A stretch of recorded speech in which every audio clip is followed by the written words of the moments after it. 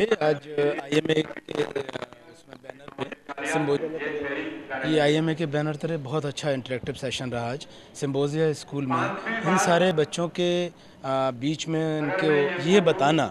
कि कैसे हम ओबेसिटी से बचना है, कितना इंसिडेंस है, कितना इसका प्रेवलेंस है, कैसे क्या खाना पीना बच्चों ने बहुत क्वेश्चन आंसर सेशन में इंटरेस्ट लिया और बहुत तरीके के उन्होंने सवाल पूछे कि हम पतले हैं तो हमें क्या करना है, हम मोटे हैं तो क्या करना है स्पेशली मोटापे से हम कैसे बचें। तो ये बहुत अच्छा मैं डॉक्टर अरुण जैन के साथ अच्छा इंटरेक्टिव सेशन बच्चों के साथ रहा। And thanks for सिम्बोजिया school and thanks doctor Rana